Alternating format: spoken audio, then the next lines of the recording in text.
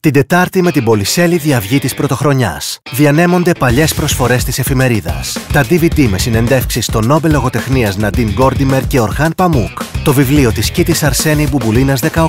Μια συγκλονιστική μαρτυρία για τα βασανιστήρια της Χούντας. Στην πολυσέλιδη αυγή που κυκλοφορεί την Πρωτοχρονιά. Τα πρόσωπα και τα γεγονότα που σημάδεψαν το 2013. Οι προκλήσεις του 2014. Ο γνωστός οικονομολόγος και δημοσιογράφος των Financial Times, Wolfgang Munchau, γράφει για τα στοιχήματα της Ευρωζώνης. Δέκα μεγάλοι Ευρωπαίοι διανοούμενοι απευθύνουν έκκληση στους υπεύθυνους για την ευρωπαϊκή κρίση.